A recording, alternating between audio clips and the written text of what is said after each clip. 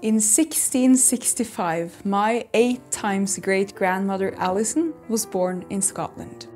In the comprehensive research work that I've done preparing for this project, I was able to find letters that she wrote to her children in the 17th century.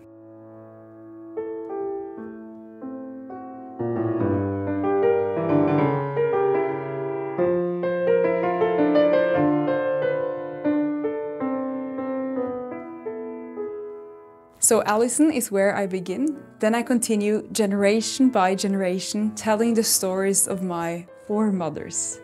There is Marjorie who lost everything but was able to build a new life on her own as a lighthouse keeper. There is Caroline who, eight months pregnant, while being under fire from Admiral Nelson, refused to leave her home. And there is Annelise who joined the Norwegian resistance during World War II.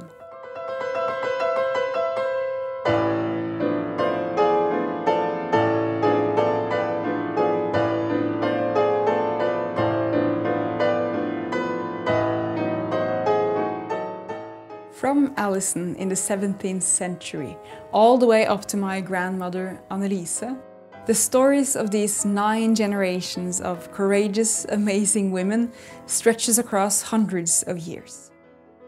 Accompanying this storyline is music history, which unfolds in the piano music that I play as we follow these nine life stories through the centuries. Welcome to 350 years of history like you've never heard it told before.